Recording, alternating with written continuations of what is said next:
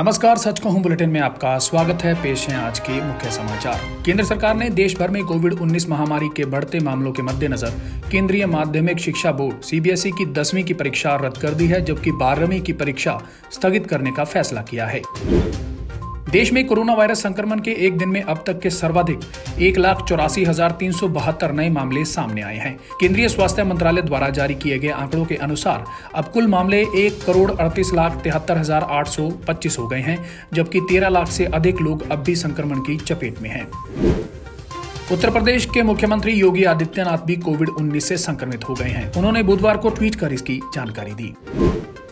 Samajwadi party के अध्यक्ष और उत्तर प्रदेश के पूर्व मुख्यमंत्री अखिलेश यादव भी कोरोना वायरस से संक्रमित हो गए हैं। मुकेश अंबानी सुरक्षा सेंध मामला। जांचकर्ताओं को संदेह है कि निलंबित पुलिस अधिकारी सचिन वाजे ने दो लोगों को फर्जी मुठभेड़ में मार गिराने की योजना बनाई थी, ताकि उद्योगपति मुकेश अंबानी के घर के निकट विस्फोटक सामग्री रखी कार मिलने के मामले से उन्हें जोड़ा जा सके। पश्चिम बंगाल के मुख्यमंत्री ममता बनर्जी ने विधानसभा चुनाव के चौथे चरण के दौरान सीआईएसएफ की गोली से मारे गए लोगों के परिवारों से बुधवार को मुलाकात की और कहा कि उनकी सरकार अपराधियों को सजा दिलाने के लिए जाँच शुरू करेगी। कांग्रेस के पूर्व अध्यक्ष राहुल गांधी ने विदेश में निर्मित कोविड रोधी टीकों के भारत में उपयोग को मंजूरी देने की तैयारी को लेकर बुधवार को महात्मा गांधी के कथन का हवाला देते हुए सरकार पर कटाक्ष किया। प्रधानमंत्री नरेंद्र मोदी ने बुधवार को कहा कि राष्ट्रीय शिक्षा नीति न सिर्फ़ अत्याधुनिक और वैश्विक मानकों के अनुरूप है, बल्कि यह जितनी व्यवहारिक है, इसका क्रियान्वयन भी उतना ही व्यवहारिक है।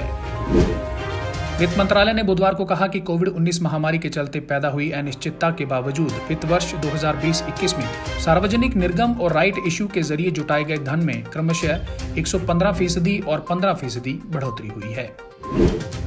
केंद्रीय पर्यावरण मंत्री प्रकाश जावड़ेकर ने कहा कि भारत जलवायु संबंधी अपनी आकांक्षाओं को बढ़ाएगा, लेकिन वह ऐसा दबाव में नहीं करेगा। अब खबरें हरियाणा से। तीन दिन से लापता पानीपत निवासी युवक का शव मंगलवार देर रात रोहतक में नहर से बरामद हुआ है। मृतक के शरीर पर जख्म के निशान हैं, जिस वजह से युवक की हत्या किए जाने की आशंका जताई जा रही है। जेब से मिले आधार कार्ड से शव की पहचान शास्त्री कॉलोनी निवासी विकास के तौर पर हुई है। पुलिस ने उसके परिजनों को सूचना दे दी है। स्वास्थ्य विभाग की टीम ने जींद के कुमार अस्पताल में छापा मारकर गर्भपात करवाने वाली महिला डॉक्टर को गिरफ़्तार किया है। आरोप है कि यह डॉक्टर बारह सौ रूपए लेकर गर्भपात करती थी। महिला डॉक्टर के खिलाफ पीएनडीटी एक्ट के तहत मामला दर्ज कर लिया गया है। हरियाणा के अंबाला ज़िले के नारायणगढ़ में सनसनीखेज वारदात अंजाम दी गई। ग्यारहवीं के छात्र पर चार युवकों ने जानलेवा हमला कर दिया। छात्र की हालत गंभीर बनी हुई है और उसे पीजीआई चंडीगढ़ रेफर किया गया है। हमलावर छात्र के पुराने दोस्त थे। जिनके साथ पीड़ित की कुछ दिन पहले किसी मामले को लेकर बहस हुई थी। स्मालखा के प्रॉपर्टी डीलर ने जहर खाकर आत्महत्या कर ली। जहर खाने से पहले प्रॉपर्टी डीलर ने सुसाइड नोट लिखा। नोट में उसने अपने साथी पर उधार लिए साठ हज़ार रूपए लौटाने से इनकार करने और उसके साथ मारपीट करने का आरोप लगाया है। पुलिस ने चार पेज का सुसाइड नोट बरामद कर लिया है। मृतक के बेटे ने स्मालखा थाने में शिकायत दी है। पुलिस मामले की जाँच में जुट गई है। पानीपत में तैनात हेडमास्टर के डेबिट कार्ड का क्लोन बनाकर ठगों ने छह बार में कुल अड़सठ हज़ार एक सौ सैंतालीस रूपए उड़ा दिए। बेटी की शादी में व्यस्त होने के कारण वे अपना अकाउंट चेक नहीं कर पाए। रुपयों की ज़रूरत पड़ने पर बैंक पहुँचे तो ठगी का पता चला। पीड़ित बीते चार महीनों से साइबर सेल और थाने के चक्कर काट रहे हैं। झज्जर में एक विवाहित की संदिग्ध हालत में मौत हो गई। उसकी पाँच महीने पहले शादी हुई थी। अब कुएँ से शव बरामद किया गया है। माइके वालों का आरोप है कि उसे मारकर शव को कुएँ में फेंका गया है। इस आरोप के आधार पर पुलिस ने मृतका के पति, सास, ससुर और देवर के खिलाफ केस दर्ज कर आगे की कार्रवाई शुरू कर दी है।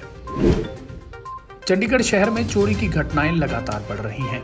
इस बार चोर एक डॉक्टर के बंद मकान को निशाना बनाकर लाखों की नकदी और गहने ले उड़े। सूचना पाकर मौके पर पहुँची सेक्टर उनचास थाना पुलिस ने आईपीसी धारा 380 और चार सौ चौवन के तहत मामला दर्ज कर जाँच शुरू कर दी है। पुलिस घटनास्थल और आसपास के सीसीटीवी कैमरों की फुटेज खंगालने में जुटी है ताकि आरोपियों की पहचान हो सके। बता दें कि मूल रूप से हरियाणा के फरीदाबाद के रहने वाले डॉक्टर की शादी 26 अप्रैल को तय है और वे उसकी तैयारियों में जुटे थे। इसलिए इतना कैश और गहने घर में रखे हुए थे और चोरों को इसकी भनक रही होगी। हरियाणा के मुख्यमंत्री मनोहर लाल खट्टर ने रेवाड़ी में बनने वाले एम्स के लिए 200 एकड़ ज़मीन खरीदने को मंजूरी दे दी है। इसके साथ ही सात अन्य परियोजनाओं के लिए सरकार ने ज़मीन को खरीदने की मंजूरी दी है। सबसे बड़ी बात यह है कि इन विकास परियोजनाओं के लिए सरकार ने ज़मीन अधिग्रहित नहीं की, बल्कि राज्य सरकार द्वारा बनाए गए ई भूमि पोर्टल पर उपलब्ध ज़मीन की खरीद की है। हरियाणा में कोरोना से निपटने के लिए लागू कोरोना कर्फ्यू, यानी रात्रि कर्फ्यू को लेकर महज 24 घंटे में सरकार ने अपना निर्णय वापस ले लिया।